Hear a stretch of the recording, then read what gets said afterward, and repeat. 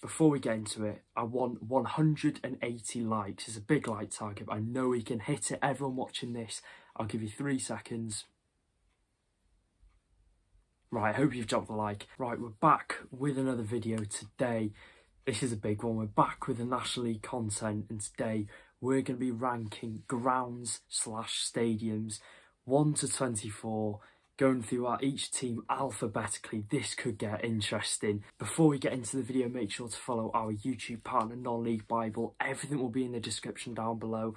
Go and follow him on Instagram. He's on the road to 20,000 followers and he produces the best non-league content, so go and drop him a follow. Aldershot Town now, with a lick of paint, I think this ground could be a decent ground. It's half seated, half terrace. Do you know what? We're going to start off with a mediocre ground, so I'm going to put Aldershot's ground in 17th place. Altrincham, now there is a lot going on in this ground. I think now they're full time, they should definitely consider making one big stand on the far side instead of having two small stands. I don't think it looks very nice. This, at the minute, is an average National League North ground, so I'm going to put Altrincham 22nd place. Barnet now, I think this is a really nice modern ground. I love the stand that houses the away fans. It's lovely and big, but I do wish they could they should maybe consider putting home fans in there as well. But when a big team brings a large following, I think it looks really good. I'm not sure what they're doing behind one of the goals though. They've knocked down one of their stands, so it would be nice and interesting to see if they are building another biggish stand. I'm a big fan of Barnet's Hive, so I'm going to put it in ninth place. Borehamwood, I think everyone sort of knows what I'm going to say on this one, but we're going to start on a positive. The new stand behind the goal, the new terrace stand, I think it looks smart and it really does give it a bit more character to the ground, but again, the away end, it's poor and it's overall a very below par ground for the National League. So I'm going to put Borehamwood in 21st place. Bromley Hayes Lane. Now they've installed the new stand behind the goal but kept some older touches around the ground which I'm a fan of. It's a tidy ground and I think it's perfect for them and I don't know why I might be a bit deluded on this one but I've put them in 10th place. I've put them very high up. Chesterfield now, I can't really say anything too bad on the Proact Stadium. It's a big ground which has a great away end for the away fans. It's probably EFL standard. Do you know what? It's not probably, it is an EFL ground and I do like the Proact Stadium. So I'm going to put Chesterfield in third place. Dagenham and Redbridge. Now, no offence to Dagenham and Redbridge, but I'm not really too sure what to say on their stadium. Three sides of the ground look like an average National League ground, but then you've got that big West Stand, which does add some character to it. I think, again, like when teams bring good following, it looks class when it's fully filled up. I think this is a solid 6 out of 10 ground, going to put Dagenham and Redbridge in 13th place. Dorking Wanderers, now, this is never a ground I thought I'd be reviewing. It's mostly standing apart from the small stand and the stand behind the goal. I can assume it does get very busy on match days and it probably will next season. And with the way the club's being run at the minute, I could see ground renovations already potentially happening in the near future. But for now, I think I'm going to place Dorking in 18th place. Eastleigh, now I like most other grounds. It's nothing majorly special. It's nothing that stuns you and blows your mind.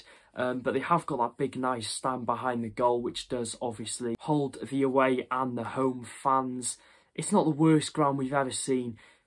I think I'm going to put Eastleigh in 16th place. Halifax Town, the Shay. Now, this is the first biggish ground on this list, apart from Chesterfield, obviously. I don't think this would look out of place in League Two and League One.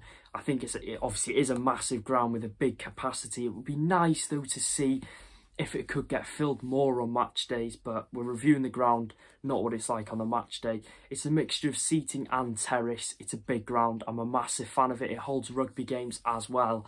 So I'm going to put the Shay in fifth place. The Gateshead International Stadium. I'm sure me and the viewers can all agree on this one. It's not very good. They've got the two huge stands which probably get less than 50% filled on the match days it, don't get me wrong, it's a massive ground, it's a big ground, but there are features in this that just bring it down so many levels. The fans are so far away from the pitch. The the um, oh, they've obviously got the running track separating the pitch from the stand. It's not an away day I'll be gutted to miss, and I'm sure Gateshead fans can agree with me on this one.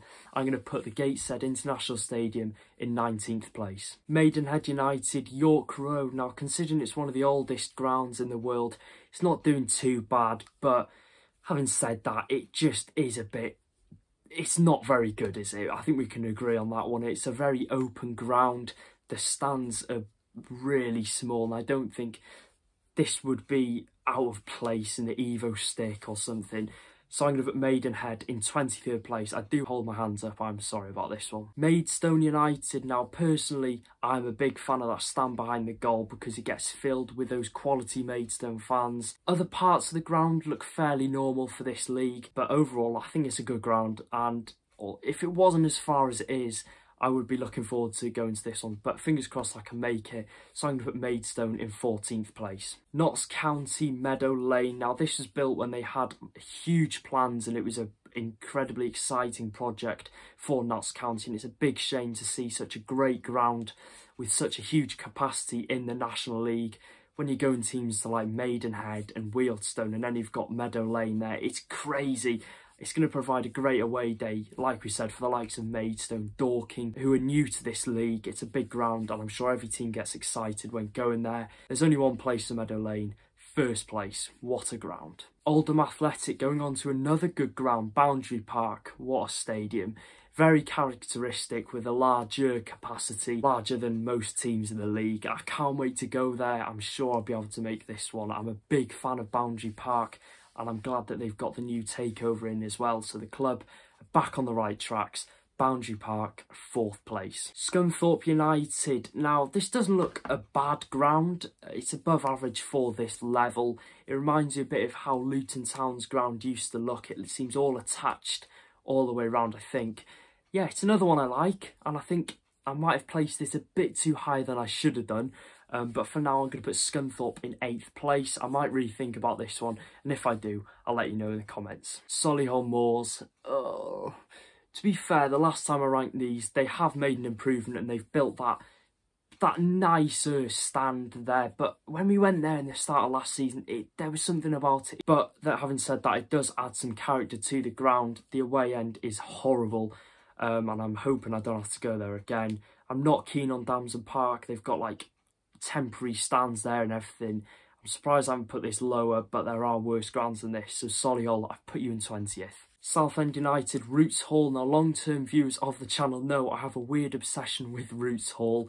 I like it, but I've slated other clubs for it, but I like the fact that they've kept, kept the ground traditional. I think they are planning on building a new one soon, which will be a shame because yeah, like I said, there's something about Roots Hall that I really like. And I'm hoping to go there this season, so I've put Southend's ground in 7th place. Torquay United, now I've definitely seen better grounds, but I think it's perfect for the size of Torquay's fan base. I think they average around 2,500 a game, so it looks good when there's um, the majority of the fans in there. And if they were to get to the EFL and they had the plans to, I think they should definitely look on improving on the away end because it doesn't look the nicest. But Torquay, I've put you slap bang in the middle, 12th place. Wealdstone, Grosvenor Vale now, I think they've, well, we know they've been kind to Wrexham in the past, uh, letting us go there for the FA Trophy trip. Um, but I'm sorry, this is the worst ground in the league for sure. There's no real structure around the ground and there's the stand on one end, they aren't equal. And I think the same is behind the goal as well. And I do understand they might not have the facilities and the money to build better stands onto it. But Wealdstone, I'm putting you bottom, 24th place. Woking. This is a weird one. Like Barnet, I'm a big fan of the stand behind the goal. The stand opposite where the gantry and the highlights are filmed looks like it hasn't been touched in 50 years. So they've got a lovely big stand and then they've just got a stand that's just collecting dust. It's really weird. But again, that adds like an oldish feel to around the ground. It's a bang average one for me, 15th place. Wrexham FC, now what can I say? I'm trying my hardest not to be biased on this one, but it's hard not to. But once the new stand has been installed where the Kop is going to be, I think this will be incredibly good. It's a big ground, it looks good, away fans seem to enjoy going there. It's filled week in, week out as well, which again, it looks great. No bias on this one, so I'm going to have to put Wrexham in second place. Yeovil Town, now I did quite like the trip there in January.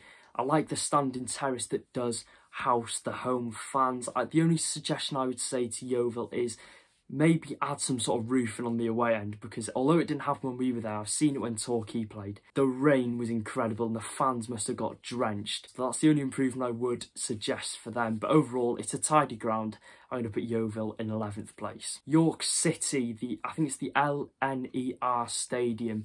This is a really, really nice modern stadium, the most modern on this list.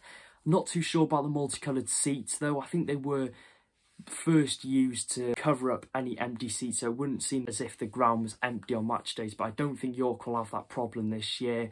It's sort of the same sort of design all the way around the ground. It's a ground I'm really really looking forward to going to this season. York City, 6th place. So that is the video. Let me know in the comment section down below your favourite National League ground. And yeah, I think that we're going to wrap the video up there. Make sure to drop a like and subscribe and I'll see you in the next one. Take care.